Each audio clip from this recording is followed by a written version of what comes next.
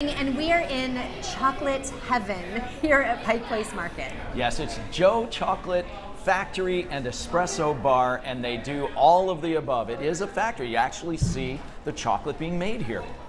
Yep, and they use it to make a variety of chocolate items to eat or drink. They use their own recipes for the cookies and baked goods here. And then if you want something cold to drink on a hot day, they have frosés and lots of other stuff to choose from.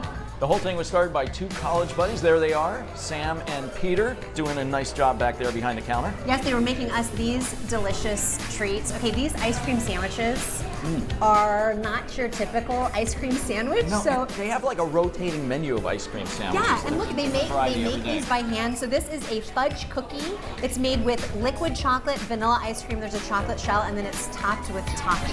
Oh my gosh. So delicious. And then they have this really interesting um, cookies and milk version here, where it's chocolate milk, of course, but they mix it up with a shaker, like a cocktail shaker.